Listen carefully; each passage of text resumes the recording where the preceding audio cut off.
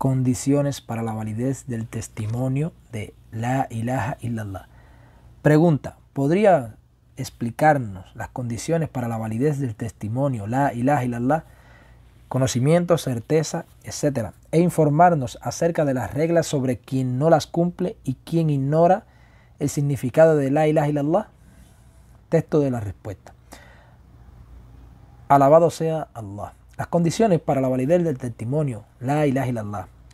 Sheikh Hafid al-Hukmi expresa en su poema Sulhan al-Wusul.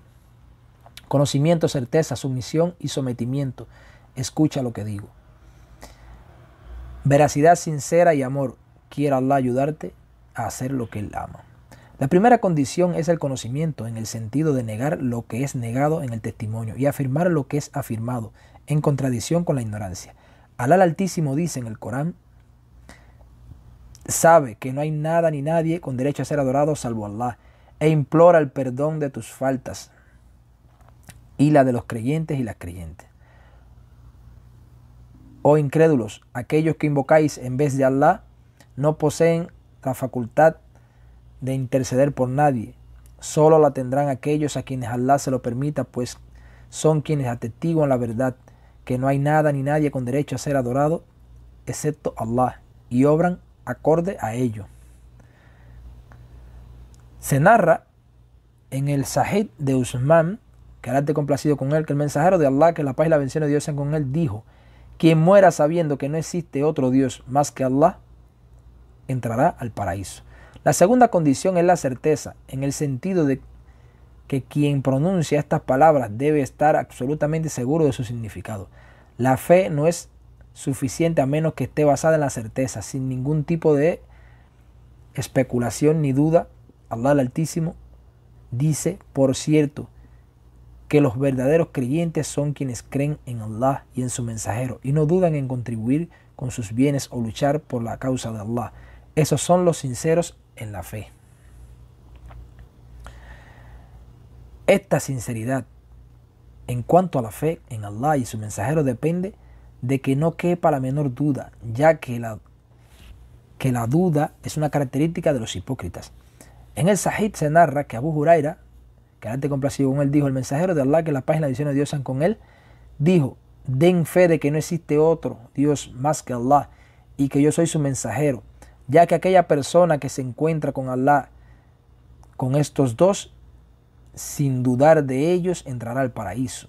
Según otro informe, ninguna persona se encuentra con Allah, con estos dos, sin dudar de ellos, y se le niega el paraíso. También relata Abu Huraira, que te complació con él, en un extenso hadith, que el mensajero de Allah, que la paz y de Dios sean con él, lo envió y dijo, a quien sea que encuentre detrás de esta pared, que dé fe de que no existe otro Dios más que Allah, creyendo en ello con certeza, abríciale con el paraíso. Por lo tanto, se observa que el ingreso de una persona al paraíso por pronunciar estas palabras depende de que crea en ellas con certeza, sin ningún tipo de duda. Si esta condición no se cumple, el objetivo tampoco. La tercera condición es la aceptación y la sumisión a lo que estas palabras implican tanto interna como externamente. Allah el Altísimo nos ha relatado las historias de quienes nos precedieron, que al aceptar estas palabras fueron salvados del castigo que recibieron quienes las rechazaron. Allah el Altísimo dice en el Sagrado Corán, y se os ordenará a los ángeles diciéndoles, congregad a quienes fueron idólatras e inicuos, junto con sus pares en la incredulidad, y a los ídolos que adoraban en vez de Allah. Luego arriadlos por el camino que les conducirá al infierno y detenerles antes de arrojar al infierno, que serán interrogados. Se les preguntará qué sucede, que no tratáis de defenderos unos a otros como los hacíais en la vida mundanal, cuando recurráis a vuestros ídolos. Pero ese día se entregarán al designio divino, y entonces comenzarán a reclamarse unos a otros, dirán a sus ídolos, ciertamente vosotros, con nuestro poder, nos forzáis a seguirnos y los ídolos responderán, no, simplemente no creísteis en Allah y nos idolatrasteis. Pues nosotros no teníamos poder alguno sobre vosotros. y elegisteis libremente la incredulidad. Ciertamente erais transgresores. Hoy se cumple la amenaza que nuestro Señor nos hizo y sufriremos el castigo por nuestra incredulidad. Nosotros solo os seducimos y vosotros nos seguisteis, desviándoos igual que nosotros. Pero Allah dirá, todos vosotros compartiréis el castigo, y así haremos con los pecadores. Por cierto que esto es cuando se les decía, no hay nada ni nadie con derecho a ser adorado salvo Allah. Se ensoberbecían y decían, ¿acaso vamos a dejar a nuestros ídolos por las palabras de un poeta loco refiriéndose a Muhammad. Allah les dirá, por cierto, que Él se presenta con la verdad y corrobora el mensaje de los mensajeros que les precedieron. Es decir, que Allah ha hecho de la razón y la causa de su castigo el rechazo arrogante a testificar que no existe otra divinidad con derecho a ser adorado que Allah. La ilaha illallah. Y su incredulidad en quien trajo este mensaje, no negando lo que niega a este testimonio y no afirmando lo que afirma, sino que decían declarando arrogantemente, ¿acaso pretende que en vez de muchos ídolos adoremos a una sola divinidad? Por cierto, que ello es insólito. Entonces Allah evidenciará su mentira y refuta sus palabras mediante la afirmación de su mensajero. Paz y las bendiciones de Allah sean con él. Alá les dirá, por cierto, que él se presentó con la verdad y corroboró el mensaje de los mensajeros que le precedieron. Luego dijo con respecto a aquellos que lo aceptaron, en cambio, a los siervos sinceros de Allah tendrán la recompensa prometida, ingresarán al paraíso, donde tendrán los frutos que deseen y serán honrados por los jardines de las delicias. En el Sahid se narra de Abu Musa, que ahora tengo complacido con él, que el mensajero de Allah, la paz y las bendiciones de Dios sean con él, dijo, la guía y el conocimiento con los que Allah me ha enviado son como una abundante lluvia que cae sobre la tierra. Algunas tierras absorben el agua y dan mucho pasto y vegetación. Y otra parte cae sobre otras tierras que son como una suave llanura que no mantiene el agua y no crece ningún tipo de vegetación. Esa es la semejanza de alguien que comprende la religión de Allah y se beneficia de aquello con lo que Allah me ha enviado, por lo que aprende y actúa, y el ejemplo de alguien que no tiene en cuenta y no acepta los consejos de Allah con los cuales he sido enviado. La cuarta condición es el sometimiento a aquello que se ordena, en contraposición con no obedecer. Allah el Altísimo dice en el Corán, quien se someta significa adherirse al monoteísmo y a las obras piadosas. Quien no se someta a Allah y no hace el bien, no se ha agarrado al asidero más firme. Esto es lo que significa la siguiente aleya. Quien se someta a Allah y haga el bien se habrá aferrado al asidero más firme y Allah será quien juzgue todas sus buenas acciones.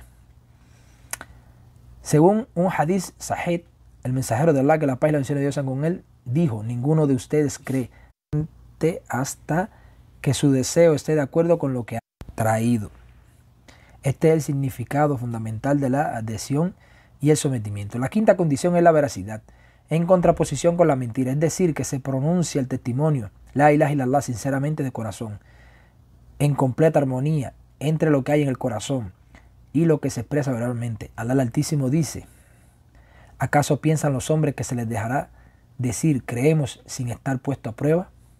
Por cierto que probamos a quienes les precedieron y Allah bien sabe quiénes son sinceros y quiénes son los mentirosos.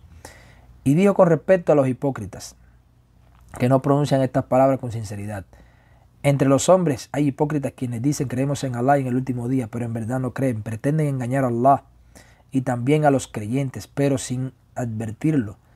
Solo se engañan a sí mismos, sus corazones están enfermos y Allah agravará aún más su enfermedad. Sufrirá un castigo doloroso por haber mentido. En el Buhari y Muslim se narra de Muad ibn Jabal, que Allah te complació con él, que el mensajero de Allah sallallahu dijo, no hay nadie que dé fe de que no existe otro Dios más que Allah y que Muhammad es su siervo y mensajero, sinceramente de corazón, sin que Allah prohíba fuego para él. La sexta condición es la sinceridad. ¿Qué significa que las acciones estén libres de todo acto de idolatría o poloteísmo? Alá Altísimo dice en el Corán, ¿acaso no se le debe rendir a Allah el culto sincero?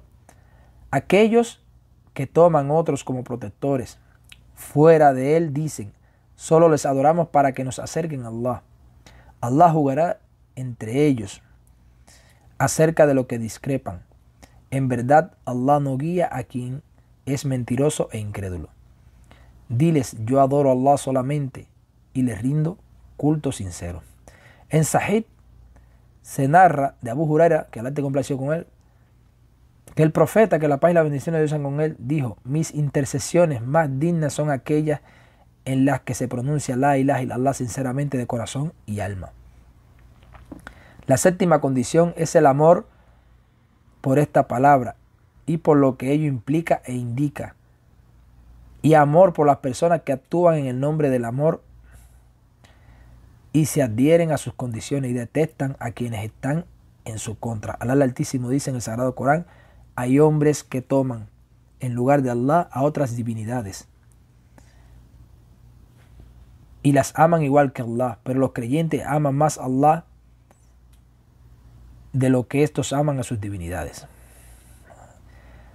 Allah nos dice que aquellos que creen aman más a Allah porque no asocian a nadie con Él en su amor, como le hacen los idólatras, quienes declaran su amor por Él, pero también consideran a otros como asociados de Él, a quienes aman tal como aman a Allah.